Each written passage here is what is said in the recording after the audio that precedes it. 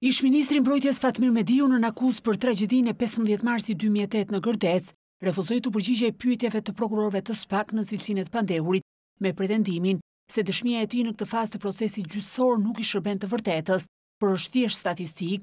Ai i tha gjyqtares së posaçme që po shqyrton akuzat penale ndaj tij se do të flasë në fund të procesit, pasi të jenë dëgjuar të gjithë dëshmitarët e palëve dhe të jenë shqyrtuar aktet dhe provat shkresore.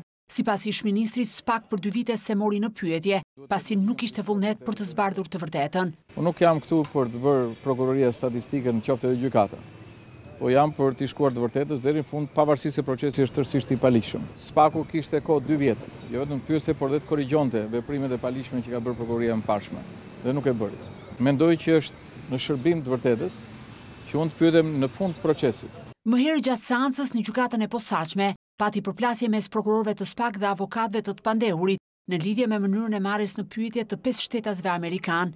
Prokurorët e posaçëm kërkuan që pyetja e shtetasve amerikanë të bëhej përmes letërporosive, pasi sipas tyre marrja e dëshmisë përmes videokonferencës është e vështirë, së pari për arsye teknike dhe së dyti për shkak të diferencës në orare mes dy vendeve.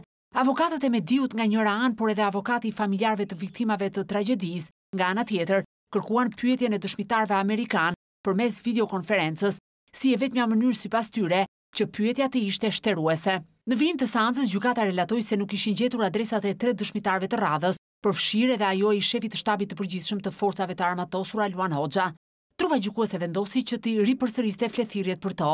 Fatmir Mediu akuzohet për shpërdorim detyre dhe shpërdorim detyre në bashkëpunim me kuadrin ushtarak komandues. Ai konsiderohet përgjegjës për tragjedinë e Gërdecit ku nga shpërthimi i punishtes së demontimit të municioneve, humbën jetën njëzet e gjashtë persona dhe u plagosën qindra të tjerë.